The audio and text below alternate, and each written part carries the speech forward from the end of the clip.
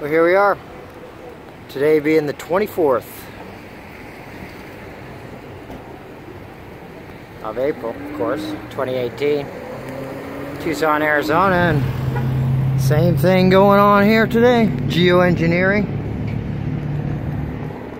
Full spraying of our skies. Dumping of particulates. You know, everyone I know right now has been sick, has been hard to breathe, coughing, you name it. Typical symptoms of the spraying. It's quite obvious here and apparently all across the United States. We see it everywhere. So there we are, Tucson, Arizona. That's reporter Chris Haskell.